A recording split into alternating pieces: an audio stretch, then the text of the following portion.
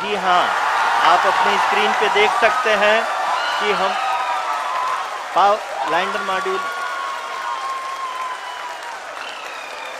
People are applauding.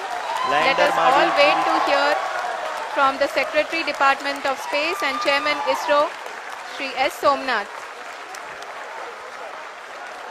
Lander module पूरी तरह से सेफली और सॉफ्टली चंद्रमा की सतह पे लैंड हो चुका है